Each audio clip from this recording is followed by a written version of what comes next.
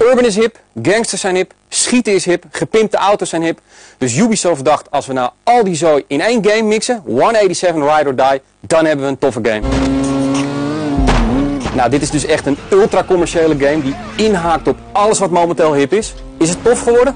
Deels. Ik bedoel, er zijn een aantal eh, facetten van de game die wel geslaagd zijn. Maar andere Zoals wat hoor? Nou, ik vind dat de, de, de snelheid van de wagens gewoon. eh, eh, dat, het, eh, dat de gameplay vrij vloeiend verloopt. Dat je rijdt, dat de wagens ook daadwerkelijk rijden. Dat ja, precies. En eh, dat het ook met een redelijk eh, grote snelheid allemaal gaat. Hebben jullie wel eens eerder gehoord van het begrip G-riding? Zo noemen ze deze crap namelijk. Oké, wat is G-Riding? G-riding is dus wat je aan het doen bent. Rijden in je auto en schieten. Ze Ja. In die game noemen ze dat uit G-riding. Ik heb echt zoiets van...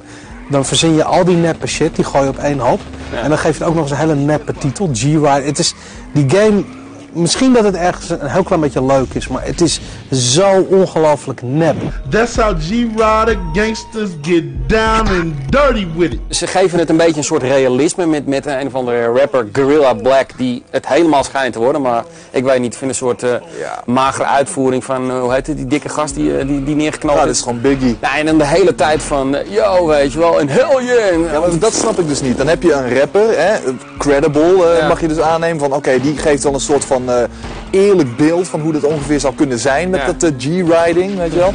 En dan de hele tijd van, "Buh, buh, buh, buh, je heard, Ja, je heard, je heard. Nou, Clichés, zo hoor ik mensen in Amerika niet praten hoor. Maar het is zo cliché, het is echt verschrikkelijk. Ik, ik kon daar niet doorheen kijken hoor. Ik heb me toch zeker 10 minuten vermaakt samen met de maat en gillen en hell yeah roepen. En als we weer een brother hadden neergeknald. Jullie nou, waren aan het G-riden. Ja, we waren echt vet aan het G-rijden. Twee van die witte gasten op de bank. Hell yeah, weet je wel, nou, helemaal tof. Eh, Alles, iedere keer als je een auto raakt, dat heet altijd een buckshot. Ja. Ja. Weet je, ik bedoel, wij, dat, ik bedoel, kom op nou, waar hebben we het over, weet je? Ik bedoel, zes Ja. het, is, het is zo dom. En hebben ze vier of vijf van diezelfde crashes die je dan krijgt. Die op een gegeven moment ook. En dan zie je zo'n gast hier gewoon op de auto liggen. Terwijl die zes keer over de kop slaat. Ik bedoel, Het is alles wat ze in deze game hebben gestopt, is het gewoon niet.